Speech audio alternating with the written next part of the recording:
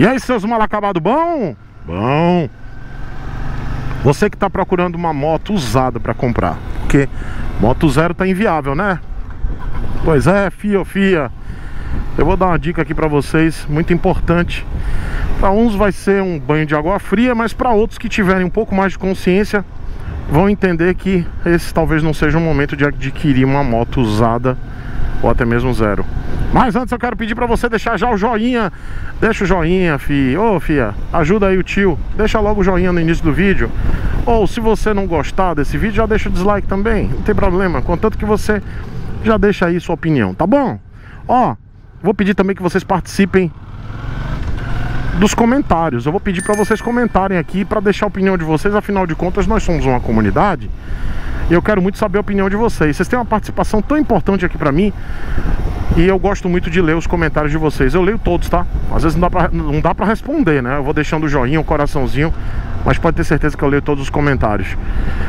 Uh, e eu quero pedir também para, se você puder me ajudar, vai lá no apoia.se barra Chico Sepúlveda e seja apoiador deste que é o pior canal do YouTube. É, aqui é aberto, tá vendo? Vamos lá. Vai lá no apoia.se barra Chico Sepúlveda, por favor. Se você gostar desse conteúdo e não tiver inscrito, se inscreve, tá bom? Outra coisa, por último, juro, verifique sua inscrição. O YouTube está tirando a inscrição de vocês. Por favor, dá uma olhadinha, não custa nada. E a, quando você verificar a inscrição, já deixa logo o coraçãozinho aí, o sininho na realidade, ativado, tá? Para você receber as notificações. E mesmo que você não receba as notificações, saiba que aqui tem vídeo de domingo a domingo a partir das 7 horas da manhã. Todo dia tem vídeo, independente do sininho te mandar a notificação ou não. Ó, vamos lá, você quer comprar uma moto, moto usada, tá? O foco desse vídeo é moto usada. Você quer comprar uma moto usada e tá com pouca grana, não tem grana para dar à vista, né? Que é uma pena, mas é a realidade do brasileiro. E aí, tio Chico, faça o quê? Fi, muito cuidado na hora de comprar a moto usada, porque financiar a moto usada pode ser realmente uma furada. Pode ser, não estou dizendo que é uma furada, mas pode ser uma furada. Furada é consórcio. Eu vou deixar a playlist do consórcio uma furada, porque esse sim é uma furada, tá? Eu sei que muitos acham também o financiamento é uma furada. É também, mas o consórcio é garantia de você entrar numa furada. É garantido. Mas eu não vou entrar nesse, nessa conversa aqui agora não. Porque o foco aqui é moto usada financiada. E é o seguinte. Por que, que eu não recomendo financiar a moto usada? Porque a taxa de juros é muito alta. O que, que é a taxa de juros? Os juros, ele é o risco que o credor, quem lhe empresta o dinheiro, corre. É por isso que eles cobram juros tão, tão absurdo aqui no Brasil. Porque o juro, ele é o risco. Então quando você tem um veículo moto, a taxa de juros é mais alta em geral do que carro. Porque moto você corre, o, o, o, credor, né? Quem empresta o dinheiro, ele corre muito risco de você cair com a moto, quebrar a moto, dar PT com a moto, né? De não ter seguro, da moto ser roubada. É um veículo que é muito roubado, mais do que carro, inclusive. E o risco de quem está emprestando dinheiro para você é muito maior. Então, por isso que geralmente as motos têm taxa de juros maior do que carros. Isso independente de ser moto zero ou moto usada. Então, para vocês entenderem o que, que é os juros. O juro, né? Para o credor, para quem te empresta o dinheiro, os juros é isso, é o risco que ele corre. E aí vamos imaginar, quando você compra uma moto usada, já rodada e que vai dar problema, porque vai, tá gente? Moto usada, ela vai ter algum gasto que você vai fazer, né? Você vai trocar o pneu, pastilha, às vezes você vai, é, com certeza você vai ter que trocar óleo, fazer aquela revisão básica. Tudo isso é custo, é a grana que você vai gastar. E o banco, o credor, ele sabe disso. Ele sabe que você vai gastar essa grana. Ele sabe que há uma possibilidade muito grande de você ter que gastar dinheiro com esse veículo. Então ele já entende que corre o risco dele tomar um calote. Então, e também, claro, de você perder a moto, cair com a moto, não colocar seguro, dar o PT, ter a moto roubada. E quando você coloca todas essas é, esses itens, né, essas questões, juntamente com o veículo sendo usado e tendo a maior probabilidade de quebrar, a taxa de juros é maior. O risco é maior para quem vai lhe emprestar dinheiro, banco ou qualquer instituição financeira. Ficou claro? Então, por isso, quando você vai financiar uma moto usada, isso pode ser aplicado a carro também, tá? Tanto carro ou moto. Mas quando você vai financiar uma moto usada, o risco para o credor é muito grande. Então ele vai colocar uma taxa de juros lá na estratosfera, lá na casa do chapéu. Então não é recomendável que você financie moto usada.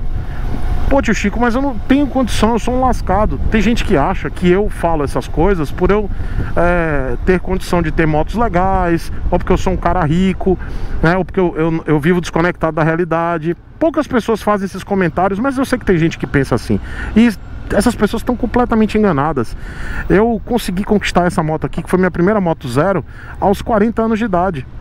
Tá? 40 anos de idade. 41 na realidade, para ser mais específico.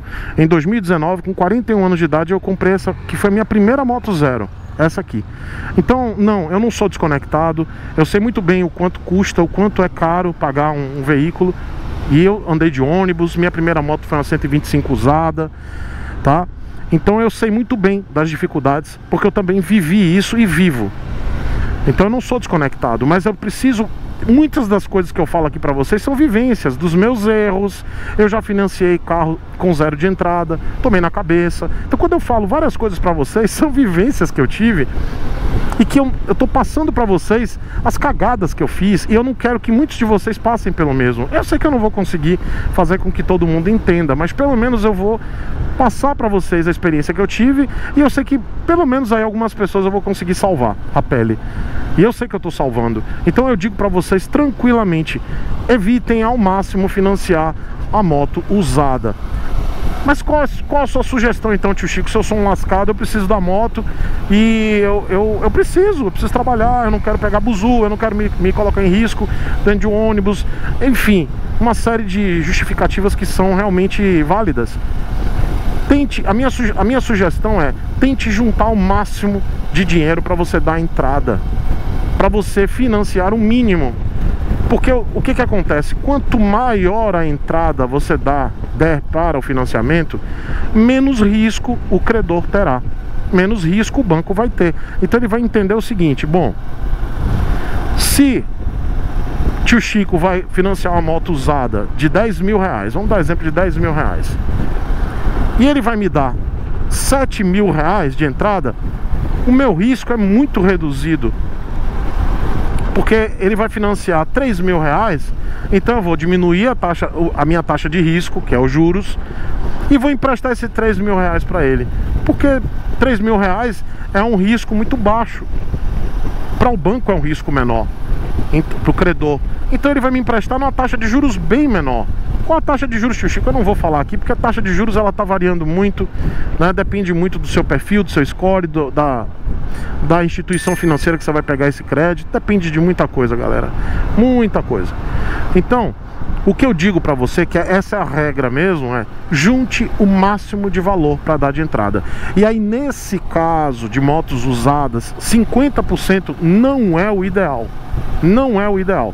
Quando eu falo de moto zero quilômetro, eu sempre digo a partir de 50% de entrada para financiamento. Mas no caso de motos usadas, não, galera, não é o ideal. O ideal para moto usada é a partir de 70%. Eu sei que é difícil. Eu sei que muitos de vocês, tio Chico, você tá doidão.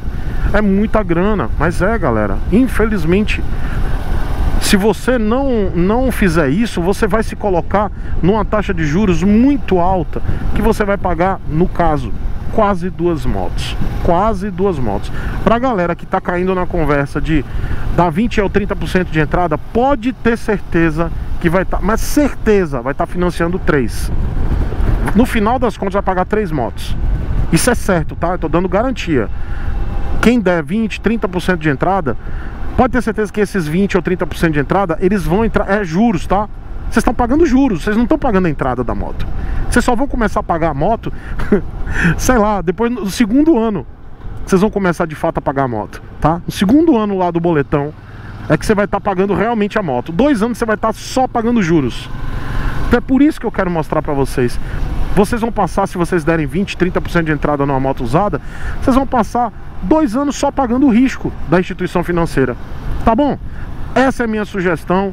É, não façam consórcio, tá? Pega o dinheiro de vocês, ao invés de ficar pagando o boleto lá do consórcio, faz, uma, aplica faz um, uma, uma aplicação simples, tá?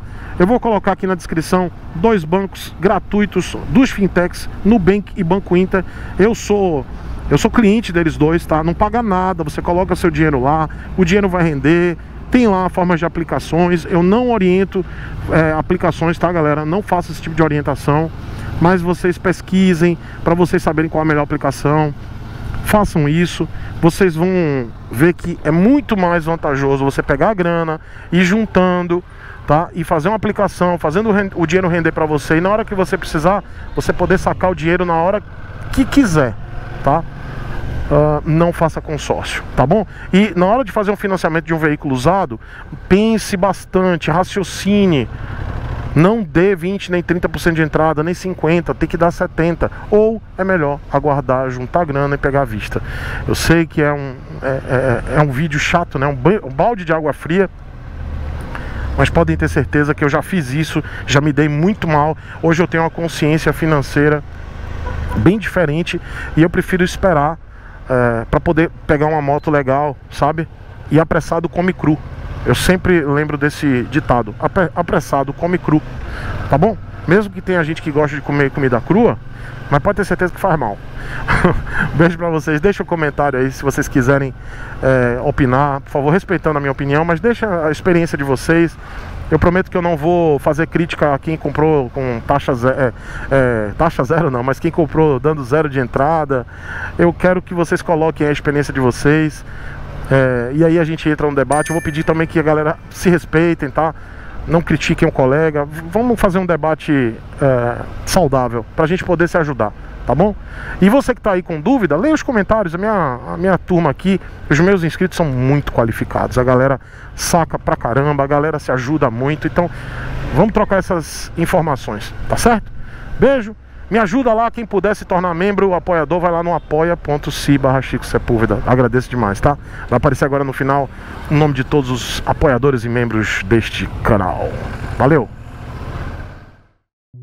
E essa aqui é uma singela homenagem e agradecimento a todos os apoiadores e membros deste que é o pior canal do YouTube. Pessoal, muito obrigado. O nome de todo mundo está aparecendo aqui agora e vai aparecer no final de todos os vídeos desse canal aqui. E se você gosta do conteúdo, quiser se tornar um membro ou apoiador, mas principalmente um apoiador, vai lá no apoia.se barra Chico Sepúlveda. E se você quiser se tornar um membro, toca aqui nesse botão embaixo, seja membro. Muito obrigado.